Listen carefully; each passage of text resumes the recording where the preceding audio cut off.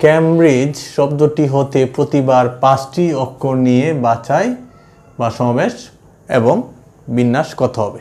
দেখো, পাঁচটি অক্ষর নিয়ে বা চারটি অক্ষর নিয়ে এভাবে যদি আমরা বাছাই করতে চাই, তাহলে অঙ্কটি একটু কঠিন হয়ে যায়। কিন্তু এই অঙ্কটি আমরা সহজে করে ফেলব। কারণ হচ্ছে, এই ক্যামব্রিজ শব্দটিতে কোনো একরকম অক্ষর নেই। যেহেতু একরকম অক্ষর নেই, তাহলে আমরা দেখব মোট কতটি অক্ষর? এক, দুই, তিন চার, পাঁচ, ছয়, সাত, আট, নয়। মোট নয়টি অক্ষর।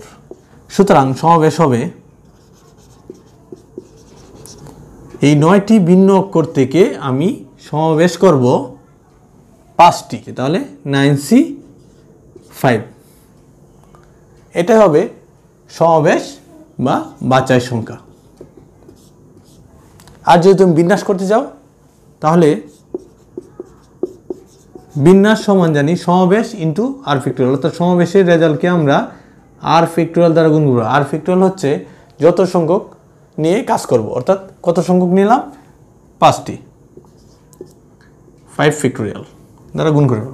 অথবা তুমি লিখতে পারো নাইন পি ফাইভ অথবা তুমি বিন্যাসে লিখতে পারো কি? নাইন পি ফাইভ অর্থাৎ নয়টি থেকে পাঁচটি নিয়ে তুমি বিন্যাস করছ, তাহলে নাইন পি ফাইভ অর্থাৎ এই নিয়মটি সরাসরি অ্যাপ্লাই করতে পারব। কখন? যদি কোনো একরকম অক্ষর বা বর্ণ না থাকে।